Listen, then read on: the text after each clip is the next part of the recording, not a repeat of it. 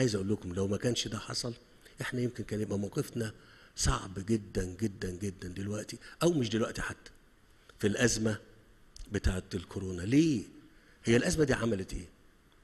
إن أنا عايز أقول لكم ببساطة إن سلاسل الإمداد والنظم الطبيعية لل- لل- للمنتجات اللي بتطلع في العالم كله سواء كانت زراعية أو صناعية أو تكنولوجية لو حصل خلل في دولة واحدة الدول الكبيرة. في الموضوع ده بيبقى ليه تأثير مش علينا إحنا بس على العالم كله. إذا كان صندوق النقد الدولي بيقول إن في 143 دولة هتتأثر اقتصاديا. طيب بأمارة إيه أنا ما أتأثرش؟ بأمارة إيه أنا ما أتأثرش؟